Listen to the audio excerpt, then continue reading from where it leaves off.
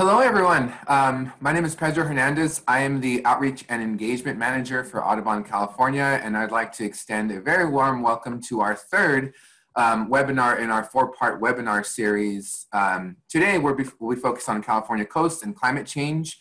We have a pretty packed agenda. Um, and again, for folks who are joining us for the first time or have joined us uh, for two or all three of our webinars in this series, thank you so much. We're, we hope you enjoy this.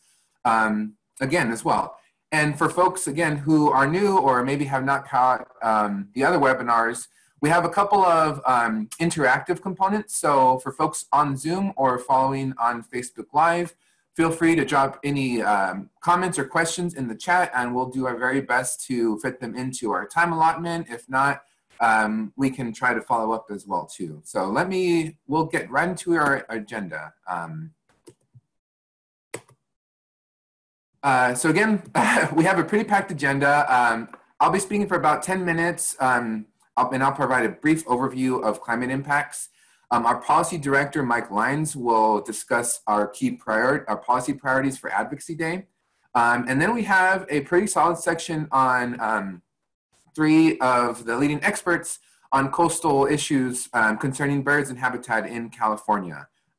we'll be wrapping things up with a question and answer section and discuss some of the next steps for our Advocacy Day um, plans. So um, we'll jump right into an interactive session. Um, for about a minute or two, uh, I'll, we'll open up the chat. Um, just again for folks to introduce our, uh, ourselves so we can get a sense of what, what area, what chapters we'll we're coming from, and also um, what climate change impacts are you noticing in your, your home regions? Um, so again, we'll, we'll spend a little bit of time on this and I will uh, attempt to uh, respond to your questions or, or your comments as they come in uh, in real time. So welcome Janet from Golden Gate Audubon. Uh, Amanda, Amanda from Monterey Audubon, Sea Level Rise. Yes, we'll be discussing that definitely today. Um, Jim from San Diego Audubon. Um, let's see, Fran in Sacramento, hello. Um, Jessica, another member from San Diego Audubon. Um, Linda is noticing weather changes. Maureen from Oakland and Golden, Great, uh, Golden Gate Audubon Society. King tides. Um, we actually do have a slide on that today. Um, hot spells in winter and fires. Um, and Becky from uh, Mendocino Coast Audubon. Hello again.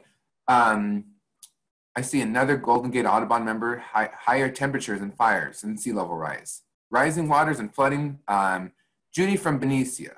Um, so yeah, so definitely wildfires were um, and sea level rise are going to be big uh, challenges going into the future, and hopefully uh, through our advocacy we can help mitigate these issues. Um, but folks who are unfamiliar with Advocacy Day, I'll provide a brief overview where climate change is going to be our, our key area of focus. Um, it's one of the uh, most existential crisis we're all um, facing with. And again, I think this is an issue, um, and we know it's an issue that is affecting multiple sectors of society. Where we're at on our internal um, calendar is we're at the end of our, um, our kind of content webinar series. May 29th, we have a, another webinar where we'll be providing last minute um, policy updates. And June 2nd is our Advocacy Day um, where we'll be pro, um, facilitating uh, Zoom meetings with your elected officials. Um, as far as the climate change impacts, I'll, I'll spend um, about four or five minutes um, providing a, con uh, a context for our, our presenters. Um, some terminology, adaptation versus mitigation, these are two big um, buzzwords in, in the climate change world. Um, but to really um, simplify them, at least how I explain it to my friends, adaptation um, is changing either buildings or natural infrastructure to adjust to the impacts of climate change. And mitigation is addressing the underlying causes of, of climate change. So this can be reducing greenhouse gas emissions, um, this can be energy efficiency measures or carbon sequestration um, from green infrastructure like trees and um, eelgrass, for example. Um, and we know that climate change, um, aside from the many impacts on birds, also has many impacts on our own communities as well, ranging from asthma, increased heat mortality. Um, this uh, climate change is also fueling um, international migration um, and also changes in vector ecology, which um, for the last couple of we weeks has definitely been in vogue um, in discussing. Um, but more broadly, outside of our um, kind of like human communities, we, we're seeing larger impacts on agriculture, the transportation sector, um, public health, as I form, uh, mentioned earlier, and also our ecosystems as well. Um, loss of ecosystem biodiversity is one of the um, many um, parallel crises that we're dealing with. And I wanted to make a specific note on that since today is um, uh, Global Biodiversity Day as well too. So we'll, um, the intent and one of our goals of, of Audubon's climate advocacy is again to ensure that biodiversity is protected and enhanced to the maximum degree possible. Um, one reason why this is our, our, our emphasis is because Survival by Degrees, which is Audubon's um, 2019 climate um, change impact report, identified that two thirds of all the birds in North America risk um, extinction due to the various impacts of climate change. Um, but on the positive and more um, restorative note, we do know that a significant portion um, of these bird populations can be saved through climate action. And also a significant portion of um, you know, our human communities can also be saved through climate action as well. Um, and specifically, um, uh, and again, our speakers will, will discuss this much more in detail, um, but climate change impacts specifically to birds include loss of habitat, increased wildfire, um, drought resources, um, or drought limiting water resources, um, sea level rise, which again will be a big um, factor in today's discussion, but also false springs and heavy rainfall um, due to change in weather and precip precipitation patterns. Um,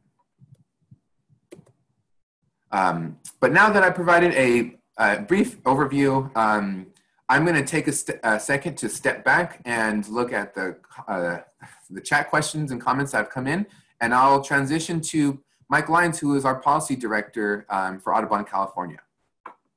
So welcome, Mike. Thanks, Pedro. Uh, and as I get started, I know some of you have joined us for the last two webinars, uh, but I'm going to touch a bit on our policy priorities that you may have heard me talk about before, because we have many new visitors or attendees to this webinar and on Facebook today. So bear with me for just a few short minutes as I talk about our policy priorities uh, in 2020. And I'll start by just really acknowledging the moment that we're in. Uh, Pedro made reference to the COVID crisis. And when we came into 2020, we had a very different legislative and policy agenda for the state than we do now. Uh, and I'll give you just an example. The state budget had $30 million in it for Department of Fish and Wildlife to increase things like enforcement and land management and conservation and biodiversity practices. Uh, that state budget had a $5.6 billion surplus in it. And we had state reserves for a rainy day fund for the state that was about $20 billion. Now we're looking at a $54 billion deficit to be offset by those, uh, by those reserves to a certain extent. And we're looking at cuts uh, all the way around, uh, including the Department of Fish and Wildlife. That $30 million won't happen this year. And so Audubon is very much focused on identifying where those cuts may be made, trying to defend natural resources, and I'll get into that in a moment but we also just really acknowledge the human and economic tragedy and, and difficulties that are before us. And we're trying to find uh, where bird conservation and nature and connecting people with nature and protecting policies that allow for that uh, continue to play a role in the public discourse when we're so focused on public health. Next slide.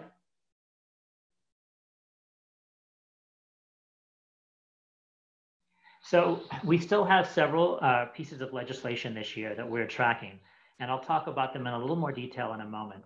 But one thing I just want to highlight is really that we noticed in the chat when people were loading, uh, identifying what they're seeing is the, is the impacts of climate change in their local areas. Again and again, it comes back to these changes in habitat and uh, whether it's the, through climate or wildfires or flooding. And that's changing the way um, it's changing the way we're trying to manage and birds and protect for birds. We have to think about the habitats now, but also very much in the future.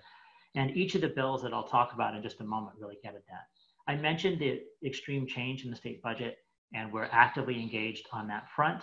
Uh, also in the budgetary process, both at the state and federal level, of trying to identify the role of natural resources in economic stimulus packages that are moving through Congress and similar discussions here at the state level. Uh, and then lastly, I think we all are very aware that industry, many industries are using this moment to call for economic stimulus, which is valid, but also then saying that they, we should have reduced permitting or environmental review processes. And certainly Audubon is opposed to that. We know we can have an, a thriving economy, kickstart that without doing shortcuts, uh, environmental shortcuts. Next slide. So AB 3030 from Assemblymember Kalra, who was our champion last year on our migratory bird bill that many of you may remember. Uh, he has really stepped up once again. And this bill is coming from Defenders of Wildlife, Natural Resources Defense Council, Azul, and Audubon as the co-sponsors.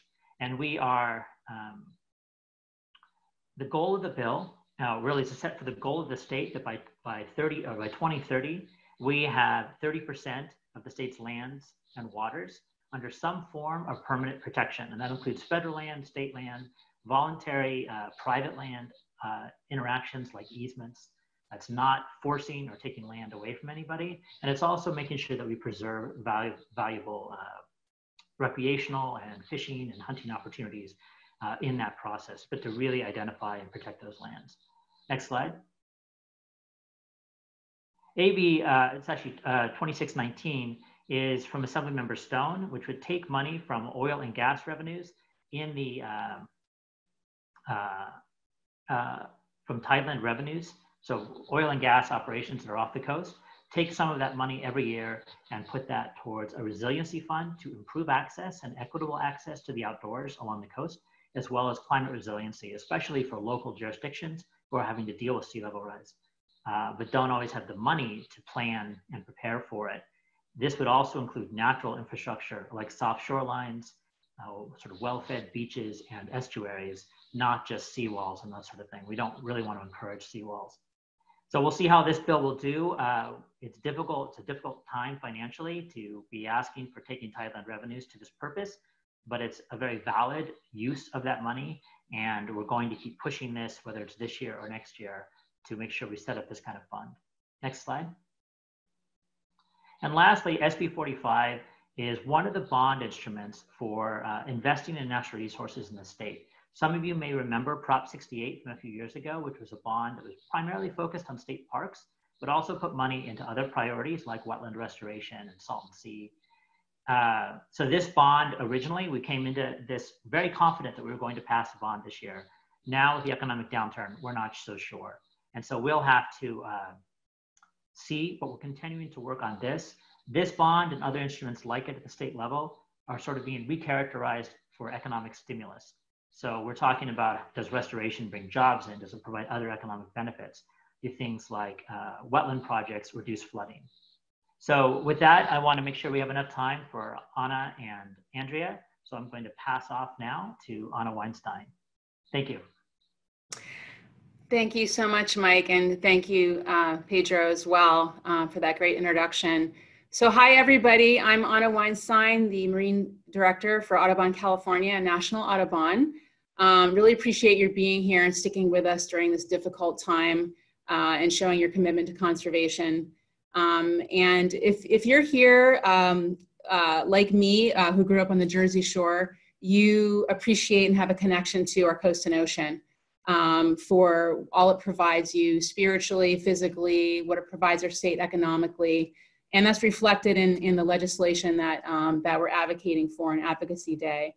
Um, and I noticed in the chat, um, there's a lot of my, um, my chapter pals, uh, activist pals here that I've been working with uh, side by side um, for many years on ocean protection and coastal projects. And as always, I deeply appreciate and um, we'll say again um, how critical that um, that partnership is and your and your engagement and activism side by side with us, which is what Advocacy Day is about.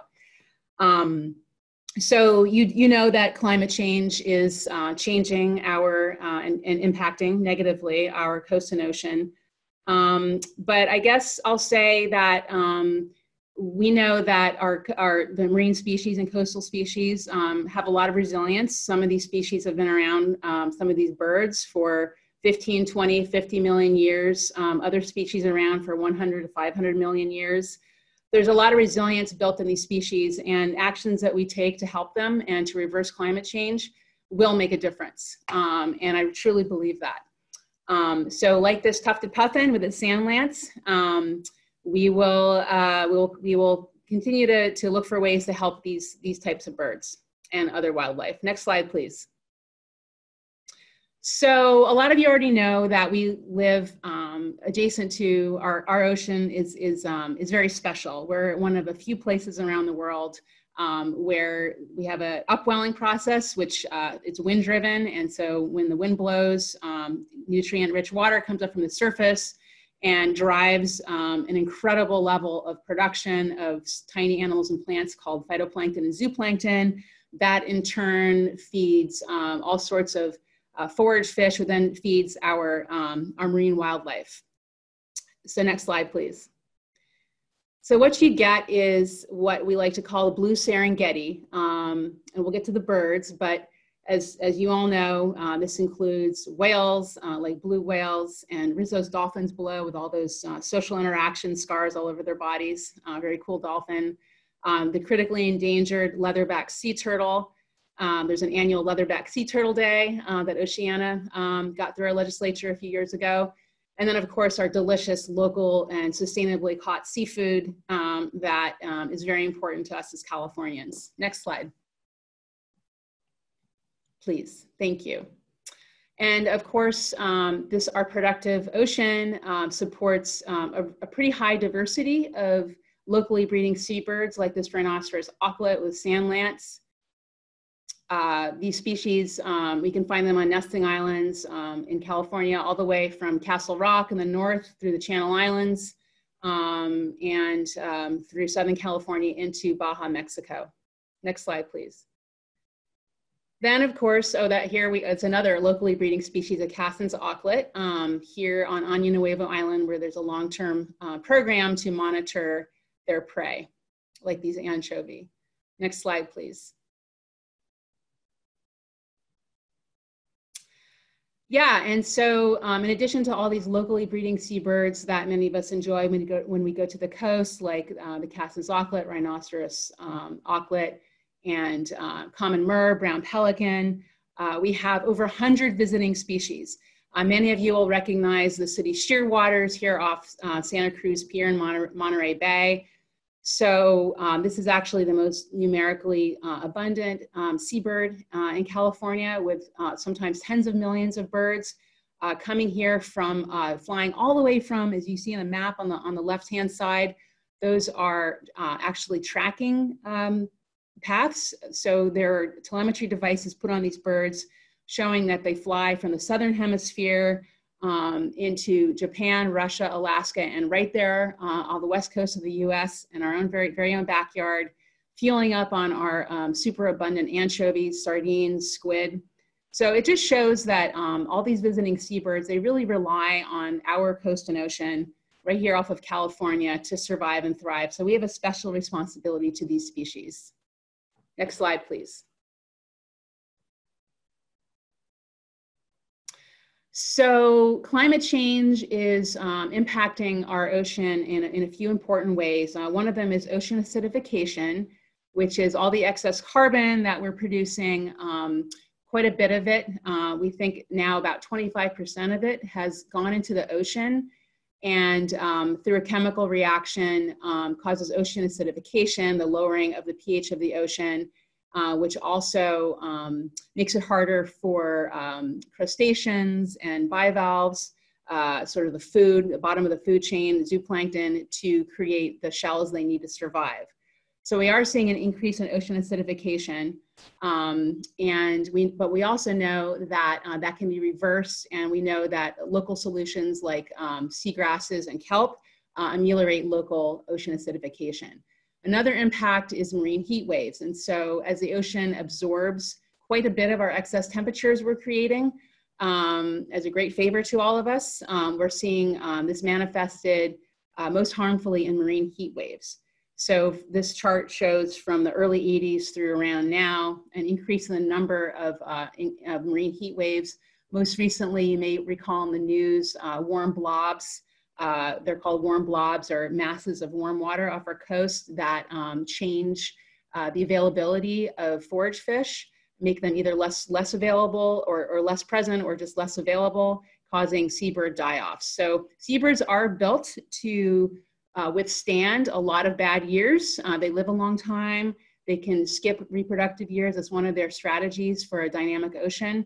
But we need to um, reverse climate change in order to have less of these warm blobs. Next slide, please.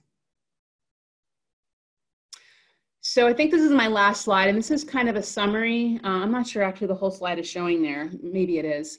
Um, I won't read off all of these, but um, for those of you who've been working side by side with me over the years, um, you've worked on all these issues and together we've had a number of victories to um, achieve marine reserves, protecting forage fish, um, protecting eelgrass and mudflats to support bird life, and ensuring that, um, that seabirds are not incidentally caught on, on fish hooks and we protect our albatrosses uh, while we catch our, our local fish. So all of these activities, we always, um, we always select our objectives um, through the lens of climate change.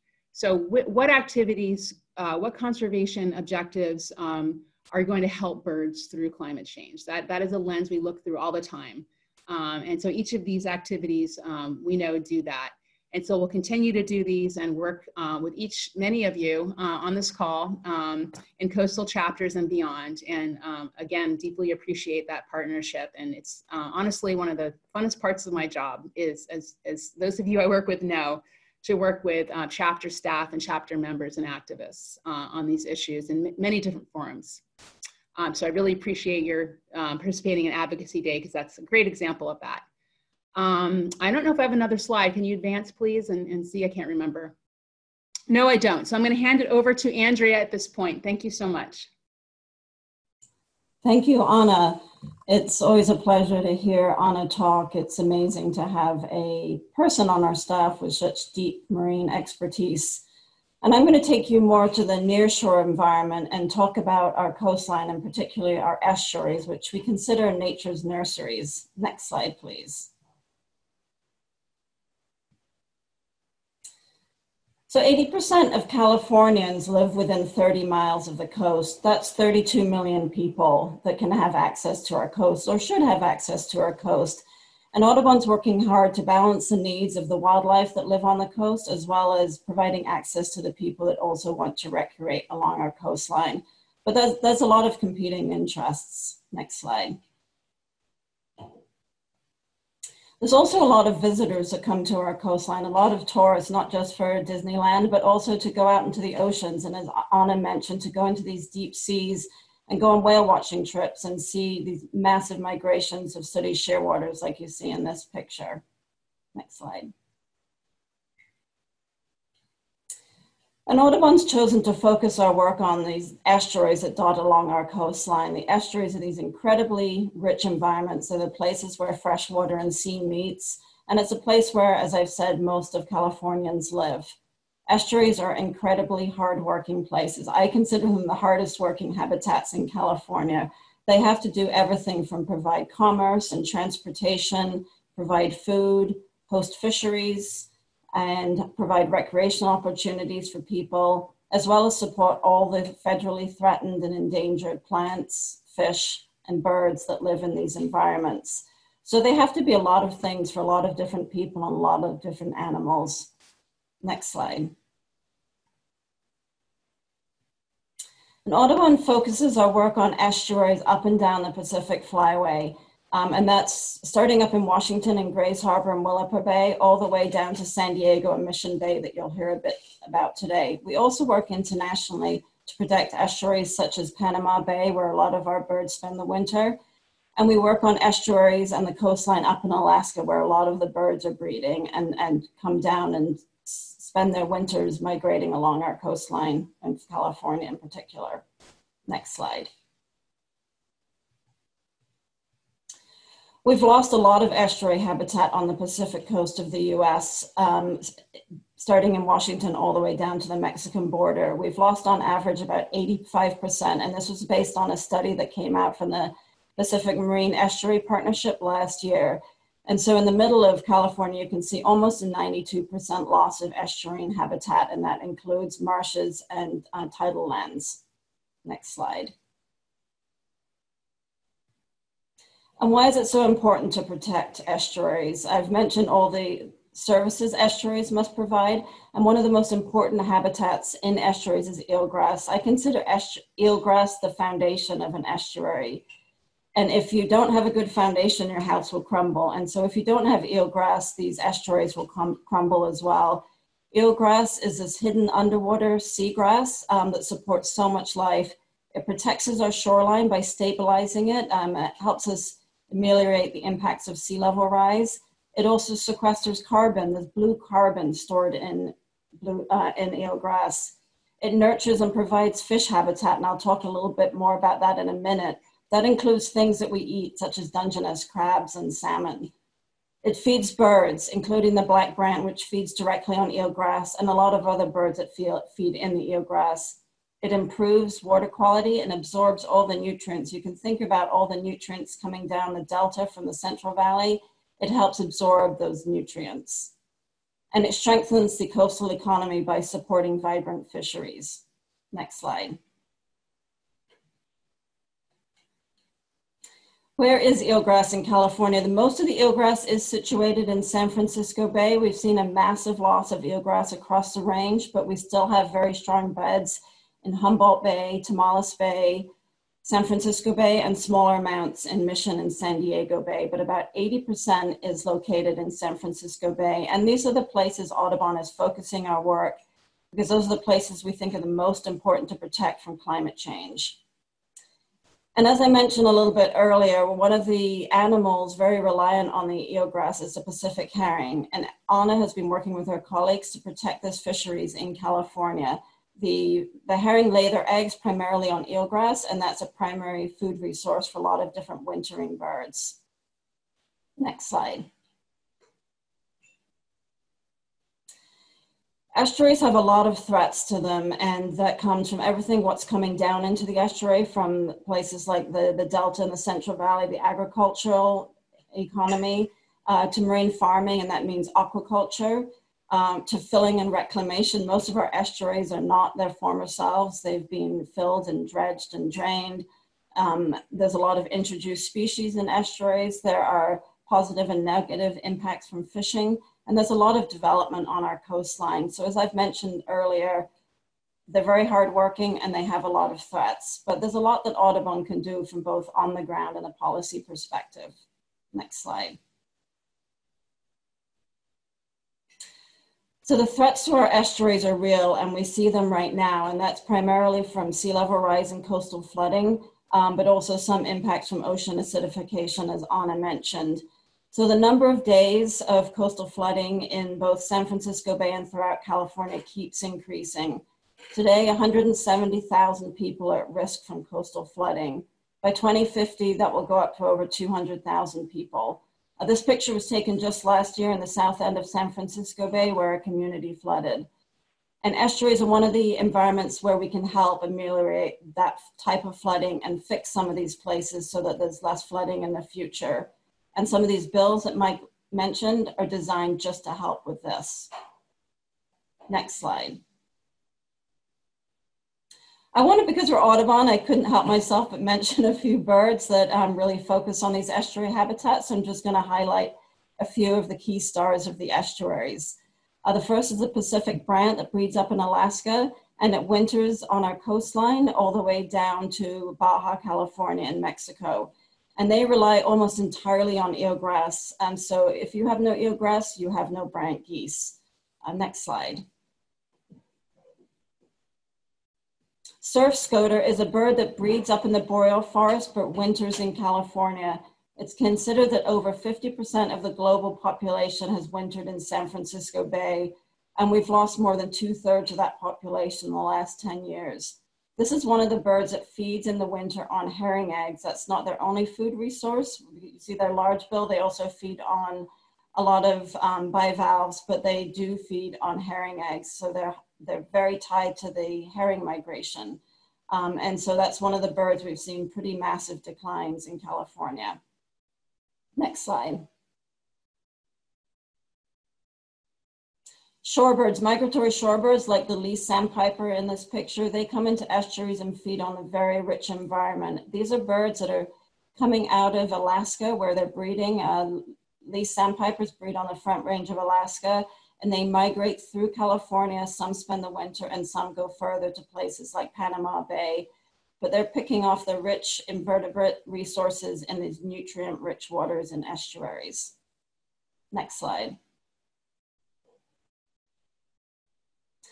We also have rare and endangered species in estuaries. One of the most endangered is the Ridgway's rail, and there are three subspecies in California and they're all federally endangered. And this is the Ridgway's rail in San Francisco Bay. Um, and they breed in the marshes, the tidal marshes, particularly the pickleweed marshes within the bays.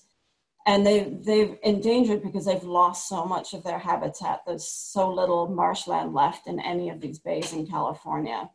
But a lot of people are trying to protect these birds. Next slide. And I can't help but mention the snowy plover. A lot of the snowy plovers breed at the mouths of estuaries because that's where a lot of the rich food resources are. They do breed up and down our coastline as well. Um, and if you're uh, in Audubon California's action alerts, we just put out an action alert today to protect birds at Oceano Dunes, so we hope you'll respond to that. And this is a federally threatened species on the Pacific coast. Next slide.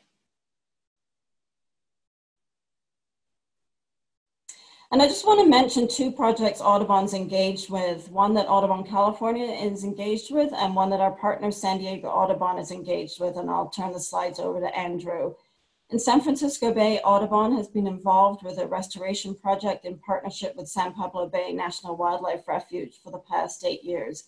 And we've been testing how to fix a marsh um, so that it drains better and so that it provides high tide habitat for birds um, as we get more sea level rise impacts. It's been a really groundbreaking study where we've learned how to rebuild a marsh, make it more adaptive to climate change in the future, and support birds and wildlife in the future. It's also caused policy to change in San Francisco Bay so that more people can do these kinds of restoration projects that have lasting benefits for birds and other wildlife. And with that, I'll turn the presentation over to the Conservation Director for San Diego Audubon, Andrew Meyer. Hi, uh, thanks very much, Andrea. Uh, and thanks very much, Anna and Mike and Pedro uh, for this opportunity. Uh, so the down here in San Diego, in this corner of California, we've been working on a project called Rewild Mission Bay and it ties into and stems off of and is here because of a lot of the work that Anna and Andrea were talking about that Audubon California has been leading with for decades. So uh, it's very much uh, affected by many of the issues that, that were brought up and responding to many of the climate change impacts and many of the bird species. Uh, Andrea definitely has cuter pictures than I do of birds, so I'll apologize right, right here up front. Uh, that there's not a lot of cute bird photos in this uh, in this webinar, uh, and in my, my slides at least. Uh, but the Rewild Mission Bay project is a, a specific, uh, a specific project. It's a wetland restoration project looking at Mission Bay, which is down here in, in San Diego. So it's a, a local example of some of the issues, like I said, and project uh, problems and, uh, and, and possibilities for um, uh, estuaries and tidal wetland habitat in, along the coast of, of California. And it's a project that started by the San Diego Audubon Society with a lot of help from Audubon California, like I mentioned, and with a lot of help and leadership from uh, Rebecca Schwartz Lesberg, who was my predecessor and now works at Audubon California. So a lot of a lot of community support, a lot of um, Audubon California, and a lot of local staff have been pouring their heart and souls into this project uh, for for a while. Uh, next slide, Pedro. Thanks. So, so I think it's pretty helpful to start with a bird's eye view and that's the only bird joke that I'll have in my presentation. But this bird's eye view is really, really helpful. It very much illustrates some of the things that Andrea was just talking about, about the changes in our coastal ecosystems, our estuarine environments. So this is, if you're familiar with San Diego, this is Mission Bay, used to be called False Bay. Um, the, the, you can see in the 1937 photo, there's some roads here. There's a little bit of development. Um, it's along the coast, just there on the farthest left side of, of the photo. That's, the, that's where the Pacific Ocean starts. So this is Mission Bay and Pacific Beach um, and, and, Mission Beach and, and Ocean Beach down here. You can see a huge mudflat environment of the San Diego River coming into the, into the, the dark swirling masses of, the, um, of Mission Bay. And it's a vibrant mudflat, rich, rich in mudflat, rich in tidal wetland habitat um, up uh, through in this 1937 photo with, with some development along the shoreline for sure and, and a causeway going right through the middle of the marsh there. If you move into the late 40s, 40s and 50s, we started to do a, a, whole lot of earth moving in Mission Bay. And again, this is the story of lots of, you're probably thinking of your own estuarine environment close to you, the own, the, your own bay and your own um, lagoon environment near you. And this is a story that's been repeated up and down the coast. Uh, so here in the 1940s, the mid 40s, late 40s, on into the 50s, there was a lot of earth moving, a lot of dredging in order to make it uh, recreation boating friendly so that the water is a lot deeper now and the shoreline is a lot more defined. So there are a lot of places where people can put boats into the water, sandy beaches increased dramatically, and the shores were hardened where they weren't made into sand so that we could have development right up to the shores of Mission Bay and, uh, and stop the shoreline and the dune habitat mo moving around as it used to.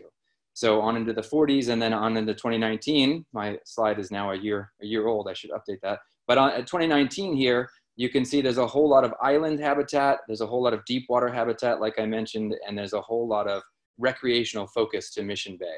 Uh, and the recreational focus is, is great in a lot of ways. I, my daughter had her birthday party along the shore here. I've been to six or seven little kids' birthday parties here. So it's used by 15 million visitors annually. It's a big draw for San Diego, and it's a, it's a beautiful place. It's a lot of fun. It's, it's definitely home to lots of the bird species that Andrea was talking about. We have Brant uh, moving through. We're on the Pacific Flyway, so a lot of migratory birds move in and out of this area, uh, and some and many of them stay. Um, in the northeast corner of the, of the bay, there is a little remnant marsh, the Kendall Frost Marsh, which is uh, owned and maintained by University of California, San Diego. So you can see there's a little bit of fuzziness there where there is not a, a straight, obvious line between the bay and the development. And that little smudge there is the last remaining tidal wetland habitat in Mission Bay. All the rest of it has been moved around and, and um, dredged into islands and dredged into deeper water. So it very, very clearly shows you over the course of not too long, this is 75 years or so, how much we've changed the habitats. Um, and, and, and, in this case, focused it towards recreation. It's, it's billed as one of the largest aquatic recreation parks in the, in the US. Next slide. If we step back beyond 75 years, beyond 100 years, um, this is a, is a map, but it's, it's neat how clear it is uh, in terms of an air photo, how clear it is for the, the shoreline and the habitats that were there and, and what it looked like. This is from 1857. It's, a, like I said, a, a hand-drawn map, but it gives you an idea of how humans were interacting with the bay for thousands of years for, with our Native American populations with many vibrant communities living along the shores of, of False Bay. Uh, uh, it was called False Bay by the Spanish when they arrived, but it was called something else before that, and it was used by humans for thousands of years in its in this form as a, as a giant mudflat marsh with a lot of tidal wetland habitat and a lot of coastal sand dune habitat. you can see some of the um, some of the estuarine environments for sure, and some of the floodplain floodplain environment where the where streams and rivers are coming into False Bay, and you get an idea of how much it's changed from now in those last photos to what it was like uh, 100 years ago, and and it had been used, and uh, natural resources were pulled from it and interacted with by humans for thousands of years, and only in the last 75 years or so has it been greatly modified to the detriment of habitat in a lot of ways. So uh, next slide. 1949, uh, I, I, love this uh, little image of the uh, uh, recreation focus, the, the tourist book from 1949 here. This is what, it doesn't look exactly like this, but in the late 40s, this is what they, what the uh, tourist map looked like for the area. And you can see just, again, just driving home the point that this area, the, the natural resources were secondary to the recreation value of this area as, as we started moving things around after World War II. Um, and it looks like a lot of fun. Uh, Fiesta Bahia. Um, it doesn't look like this exactly anymore, like I said. And pretty soon after we started moving land around and, and making it a recreation focused, a lot of focus, a lot of people, uh, Audubon included, San Diego Audubon, um, with help from Audubon California, certainly, started thinking about and started emphasizing, well, what have we lost with this change in focus from, from this mudflat and tidal wetland uh, lagoon and estuarine environment to a, a, more deep water and sandy shoreline environment focused on, on recreation. And some of the species here at the bottom are just a few of the ones that we've been highlighting in the last uh, 10 years or so through the Rewild Mission Bay project. On the left is the uh, uh endangered California least tern. That's uh, one of the first species on the endangered species list. It's our smallest least tern. It's really cute. It's just about this big, fits in your hands. Um, and it needs coastal dune habitat to, to nest and to feed its young and to survive on, uh, uh, in its um, wintering uh, location. And then it migrates back down to the coast of Pacific coasts off of Central and Southern uh, America. Uh, the, in the middle there is one of the native plants that we have that is also endangered, that's Nuttall's lotus. And on the left there is the Ridgway's rail, which for me is very difficult to say, uh, Ridgway's rail. Um, but, but, it's, uh, um, Andrea had a picture of it with um, some of its really dark colored um, uh, young, its offspring. It's a little cuter than the photo that I have. But that species in particular, and again, this kind of brings this Rewild Mission Bay project up to the rest of the coast and to the rest of the uh, rest of the shores around the world in which we have a lot of people living along the environment, wanting to share the same space with these, with many um, uh, vibrant ecosystems and, and birds in particular. Ridgway's rails along the entire California coast have lost a lot of their habitat through earth moving uh, um, endeavors, just like is illustrated here in Mission Bay. So that's one of the species that we're definitely focusing on for the Rewild Mission Bay project it lives in the Kendall Frost Marsh in that uh, um, tidal wetland habitat that's the last remnant piece of Mission Bay. Uh, there are population there that's surviving, but it obviously used to have a lot more habitat available and, um, and be a lot more common in here as well as in some of the other places in the San Diego River and Tijuana uh, uh estuarine research area down here. Um, most of those populations are not doing very well, including the Kendall Frost uh, population. Next slide. Pedro? Thanks. So, so about uh, 2014, about six years ago, seven years ago, uh, San Diego Audubon Society got a grant from the Coastal Conservancy, the California Coastal Conservancy, the State Coastal Conservancy, and the U.S. Fish and Wildlife Service. So it was a state and federal money. We were lucky enough to get it. Um, and uh, uh, it is a project that we've been doing from 2014 through 2019, uh, through 2018 uh, was to create this feasibility study, which is here on the right. Um, and it, I think one of the main reasons that we had such a compelling argument for the grant, and certainly one of the compelling reasons that we think this is a worthwhile project, is that it very clearly builds off of the Mission Bay Park Master Plan. So this idea of wetland restoration, the idea of making sure our natural resources are maintained and improved, even in this uh, recreational focused area, is something that the community has been hitting over and over again any chance they get. Uh, and the master plan from the 90s is one of the great documents that em emphasizes that and lays it out. For 25 years, that master plan existed without much, uh, without much movement towards wetland restoration. So we had a pretty compelling argument, and we, we still do, that we, uh, the community has been calling for wetland restoration here. Let's do a feasibility study to get some ideas and, and show some scientific evidence about what's possible and how humans, as well as all of the other organisms we share our, these estuarine environments with, can benefit. So multiple community meetings. That feasibility study is, is out now. We finished it at the end of 2018, so about a year and a bit ago. Uh, that feasibility study definitely was able, was very helpful for us to hit some of the options and some of the uh, benefits that we would receive as we are using those benefits and those options as we talk to the city and as we talk to other community groups uh, in the area to try and get the uh, a lot substantial wetland restoration project to be the direction that the city chooses. Um, okay, next slide, please. And so here's a study area. I won't spend too much time on this, but if you know the area, it's the northeast corner of Mission Bay. Uh, next slide, Pedro, please. Uh, and long story short, this is the one that we are now advocating for. This is the wildest wetland alternative and it looks to, and it's shown that it's feasible to restore a lot of wetland in the northeast corner of Mission Bay. This is a small piece of, of the whole Mission Bay.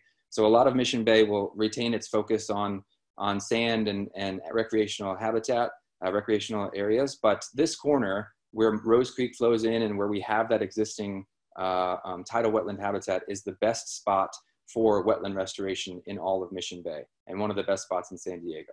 Next slide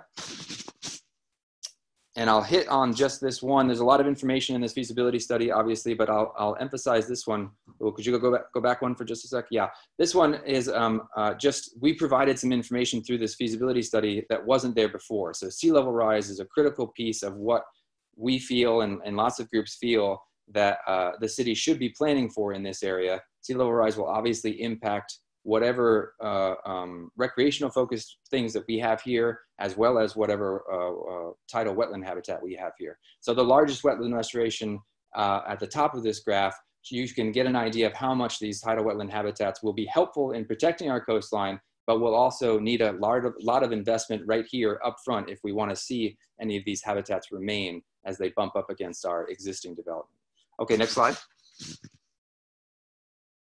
So we had a lot of partners working on this. We definitely didn't do this by ourselves. I won't go through all of these, but we had uh, we put together a great group of folks to help input on the feasibility and technical piece of it, as well as kind of steer the project along and complete the scientific pieces of the of the feasibility study. Next slide.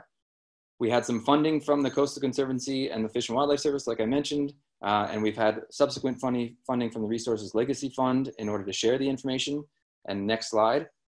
Uh, the last thing I'll say here is that we've been putting together a coalition of groups. Again, this is kind of touching on the, um, the support that we need in order to say that a substantial wetland restoration project is what, what uh, the community wants here. We've been building a coalition of groups that also are, are saying, yes, this feasibility study is pointing to the right way that the city should go. We've thought about a lot of the options. Uh, we thought about water quality impacts. We, we talk about sea level rise a lot. We talk about access to our shoreline. And we definitely talk about natural resource uh, benefits and habitat benefits. So next slide, I think is my last one, Pedro. Um, the wetland restoration project, the, this Rewild Mission Bay project, I feel really lucky and eternally grateful that we get a chance to talk to the community about a really proactive and positive project. Um, Anna and Andrea mentioned the climate, the carbon sequestration value of a tidal wetland. We get to talk with community groups and with, with people from high schools, which we're seeing here during the Global Climate Walkout. We get to talk to uh, Rotary clubs and environmental organizations and labor groups and religious organizations um, about a project that is not only at adapting to, to sea level rise and, and climate change by, by increasing the resilience of our shoreline, but also mitigating a little bit of the, the climate crisis. Uh, a tidal wetland is a great sequesterer of carbon, so this project kind of brings together a lot of positive things, and it's one of the ways that the city of San Diego, as well as the state of California, can get behind some projects that are really, um, really positive and, and, kind of steer away from. We understand what climate change is doing. We know that there's going to be a lot of things, and, and Anna mentioned this, but there's also lots of positive projects that we can do to help um, right the ship and, and, and increase the value of habitat for birds and other other wildlife. So thanks very much. Oh, and yeah, next slide actually is also mine. I just wanted to say this is a picture from our um, our uh, local fisheries and, and uh, marine fisheries group that's been championing it. Uh, that's one of our, our staff there, Megan Flaherty is our restoration program manager and a bunch of the uh, friends that she's made, um, uh, volunteer activists that have come with, to many of the Coastal Commission and Pacific Marine Fishery Council meetings, talking about uh, the fisheries things that uh, uh, fisheries uh, advocacy projects that Anna was mentioning at the beginning. This Rewild project is just one of the ways that we're getting involved here locally. Another way is the fisheries um, projects that, that Megan's work been working on. But here's a list of some of the things that I'm sure that you, many of these things you're probably already doing probably already would love to get involved with. Um, but there's a, a good mix of things, long-term things that we've been talking about so far, as well as short-term, everyday, and very local things that we can do in order to combat the climate crisis and stay positive and find some some um, um, uh, things that we can grab onto. And part of those is teaching and advocating and joining networks, which we're certainly doing down here with a lot of help from Audubon, California. So thank you. I'll pass it back over to Anna Weinstein.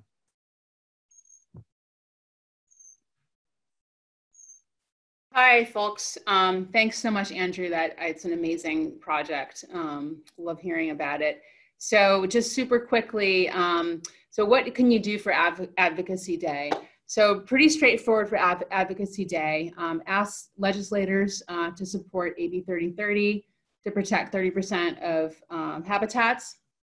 And Mike uh, provided detail on that earlier. Um, ask legislators to support AB 2619 to help economic recovery in our coast through uh, completing coastal adaptation projects. Um, and finally, uh, related to SB 45, the bond that we've been supporting, past economic stimulus or bond, um, support coastal infrastructure projects as part of economic stimulus. So weaving uh, our coast and ocean and adaptation um, into economic recovery that's in front of us.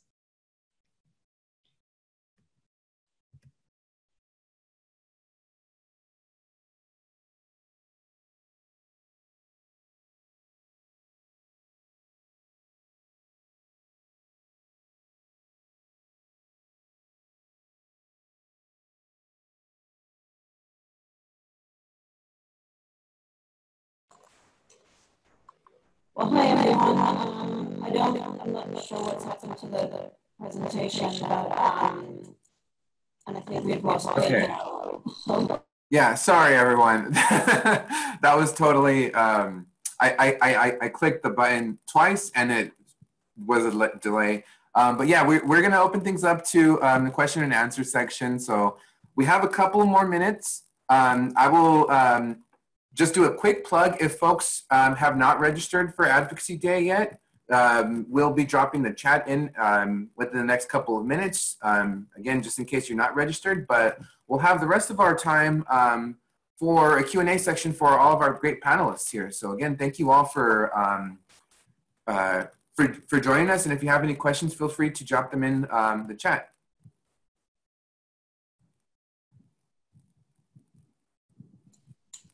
Uh, someone mentioned that there's a lot of possibility for East San Francisco Bay. Um, I would agree. There are some um, significant eelgrass beds on the east side of San Francisco Bay, uh, Richmond shoreline, um, San Leandro shoreline. Um, Anna's noticed a lot of um, herring runs around the Richmond Bay area, and there's also San Pablo Bay going further north.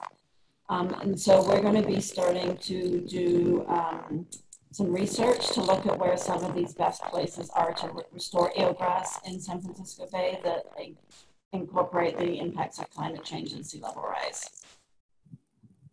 Awesome. Thank you, um, Andrea. And for Andrew, I see a question. Um, how did you outreach to the community groups to get them involved in this project? Um, we do that. Th- oh, oh, that's for Andrew. Sorry. For Andrew, yeah.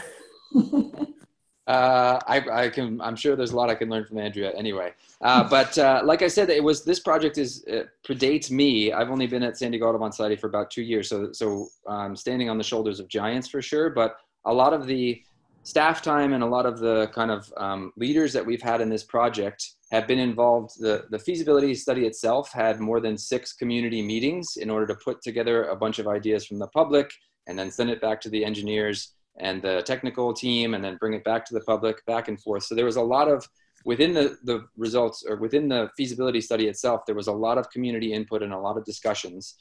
Um, once the feasibility study is done and now we're advocating for one, one of the, uh, the wildest option the, the substantial wetland restoration we've been talking to community groups and building a coalition slowly. We just had two more groups join this this past week which is great. So we've got to figure out how to change all the logos and uh, fit more logos on there. But um, it's a, I would say uh, that it's a very compelling and and most of mostly pretty easy sell. We're talking about habitat restoration, but we're also talking about a project that has water quality benefits for all the users of Mission Bay. We're talking about resilience to sea level rise. We're talking about improved access for all people in San Diego. So we definitely tailor the message a bit because there's lots of benefits. We don't just talk about bird habitat uh, we talk about uh, how, how this park can be beneficial, how this public land can be beneficial to, um, to people throughout San Diego and people all along the coast. So um, it's, it's an argument that really is easy to make in most cases. Okay. Thank you, Andrew. Um, I see a question um, I think would be fit for Mike. Um, just uh, an update on, I think the question was, where were we at with the gutting of the Migratory Bird Treaty? And I know you had discussed this a little bit um, earlier. Uh, sure. So, uh, because that's, I want to focus on the coast today, so I will let folks follow up with me individually to talk about the Migratory Bird Treaty Act. But at the federal level, the Trump administration has issued its final rule uh, to repeal incidental take protection for migratory birds. So basically, when they're killed but um, not on purpose. But because of Assemblymember Kalra and members like you guys last year on our Advocacy Day, California passed legislation to continue to provide that protection to birds, even if the federal government pulls it back. So our birds in California should be protected as they always have been. Uh, and we're working at the federal level to undo the Trump administration's, uh, frankly, mistaken rule and that may even result in litigation. So we'll see. Uh, but I want to go back and re- refocus on the coastal stuff if we can. Yeah. Um, so I, I've been seeing a couple of just different comments about eelgrass. Seems like very uh, popular subject. Um, I guess, is there anything else um, about its importance or maybe some tips of how our Audubon network can talk to regular people or their friends about eelgrass? Anna, do you want to go for this? Yeah, I love that question. Thank you, whoever asked it. And um, that, that really, I, I, love that question because um, eelgrass is not something we see, but it provides so many ecosystem services for our birds and wildlife. Um, and we're developing right now some uh, communications materials. Um, in fact, that slide that Andrea, that great slide, um, where the brant goose in the middle and all the ecosystem services, that's something we can provide to you. Um, so if you contact us, we can provide materials. And then there's like, uh, there's, and that slide has six, um, six ways eelgrass is important. Um, and so if you uh, live on the coast and uh, you're tracking coastal issues and coastal development, um, you can look at project applications and see if they involve eelgrass. There's different ways you personally can engage in eelgrass, but I really invite you to contact Andrea or me to ask more specific questions because we are pretty deep in that um, and we're both eelgrass fanatics, as I'm sure Andrew is too. So, um, so please contact us. Awesome. Yeah. Um, uh, you know, it was one of, I learned so much about eelgrass just working in the couple of months already I've, I've been in Audubon, California. So it, has been tremendously interesting, at least personally. Um, and, you know, on, on that note, I hope this uh, webinar series has been uh, interesting as well for, for all, all, all of y'all who have been joining us. Um, a quick note, we will be um, ensuring that all of our webinar series up to this date um, uh, are going to be posted on our Facebook um, page at Audubon California and also our YouTube page as well too in case um, any of the ch uh, chapters would like to circulate um, this amongst your networks or watch again on a Saturday evening if you really, really want to. And on, on that note, again, if, if y'all um, want to learn more about Advocacy Day, you can uh, visit our website at Audubon, California again. Um, and we are looking very forward to um, contacting all the folks who have joined um, and registered for uh, Audubon's uh, 2020 Advocacy Day. Um, so keep an eye out for an email from an Audubon staffer. Um, and again, we'll be and try to support you along the way as well. So thank you all for attending. We look forward to um, you know increased advocacy um, not only on June 2nd but beyond, and again a healthy planet for communities and birds. So thank you all again. Feel free to reach out for any questions or concerns. Have a good e uh, evening and weekend, three day weekend.